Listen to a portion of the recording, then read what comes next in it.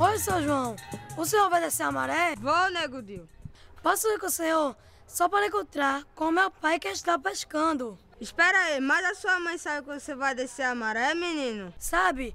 Foi ela que me mandou encontrar com meu pai. Tá bom, vamos, mas fica lá atrás, sentadinho, não me incomode. Tá bom, só ficar conversando comigo mesmo. Sou estrela do mar, vivo a navegar. Eu sou. Sou estrela do mar, eu vivo a navegar. Eu sou. Sou estrela do mar, eu vivo a navegar. Na ilusão do horizonte, eu a estrela mais linda que há. Na ilusão do horizonte, sou eu a estrela mais linda que há. Eu sou, Sou estrela do mar, eu vivo a navegar.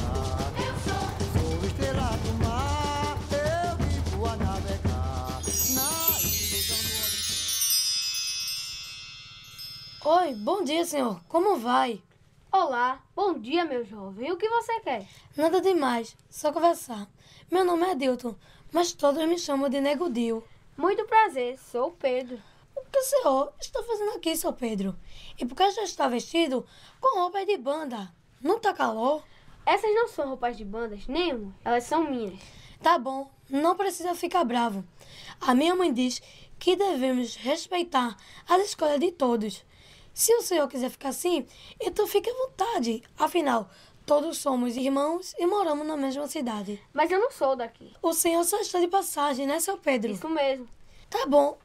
O senhor conhece bem esta cidade? Não, mas já cheguei aqui há muito tempo. Deixa então te dizer um pouquinho como são as coisas por aqui. Aqui todos são bons moradores. É um povo amigo, acolhedor e trabalhador. É um povo que se preocupa com o outro e sempre gosta de ajudar o próximo. Apesar dessas águas guardarem muitas tristezas. Como assim, Negudinho? Então, seu Pedro, aqui é Formoso. É uma cidade calma e que nem todos conhecem bem a sua história. Há bastante tempo, nessas mesmas águas que estamos, já aconteceu uma batalha que marcou esta cidade. Como assim uma batalha? Tinha um pequeno forte que abrigavam 20 soldados que defendiam Pernambuco da invasão dos holandeses. O comandante que tem o mesmo nome que você, Pedro, só que esse era de Albuquerque, lutou com todas as suas forças contra a temida esquadra holandesa que queria entrar aqui e dominar todas essas terras. Mas Pedro de Albuquerque, mesmo ferido, matou muitos homens inimigos. O comandante inimigo, Vush Copper, achou que Pedro foi tão persistente que ele mesmo foi quem considerou Pedro de Albuquerque um herói. E o que aconteceu com esse Pedro de Albuquerque? Ele foi capturado, coitado.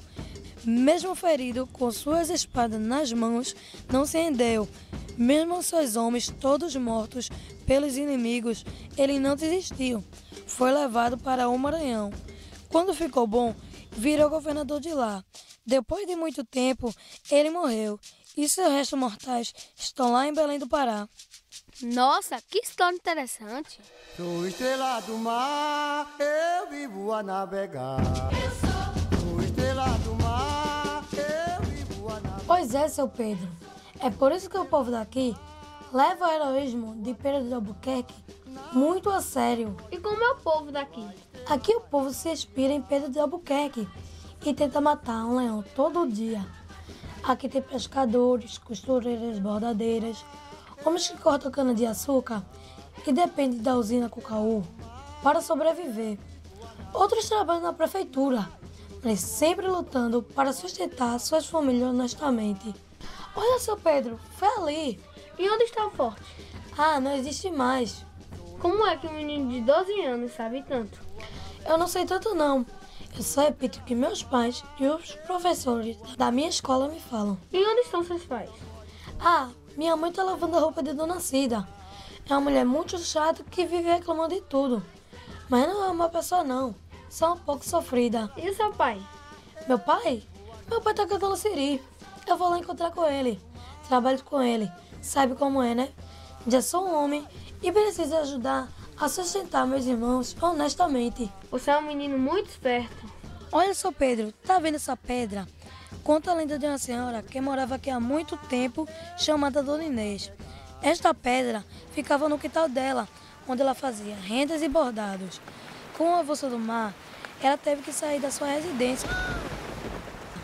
Pois quando ela saiu, ela falou que quando o mar cobrisse essa pedra, Rio Famoso iria se acabar em água. Mas não fique com medo, é só uma lenda. Tudo bem, não se preocupe. E o senhor? Eu só falei. E o senhor me escutou. De onde o senhor é mesmo? Você nem desconfia que eu sou, Nego Gil? Não, senhor. Sou Pedro de Albuquerque. Fui comandante daquele soldado que você estava me falando. Realmente, tudo que você me falou é verdade. Foi uma luta muito difícil para todos. Tivemos perdas irreparáveis, sofremos muito, cada momento é recompensado. Como sabemos que existem pessoas como você e esse povo daqui. O senhor sabia que a escola que eu estudo tem o seu nome? Sei sim, Nego. É uma linda homenagem. Olha, seu João, meu pai tá ali. Pai! Pai, pai! Ô, Nego Dil. Pensa, pai! Deus te abençoe, meu filho. Olha o que eu vi! O quê?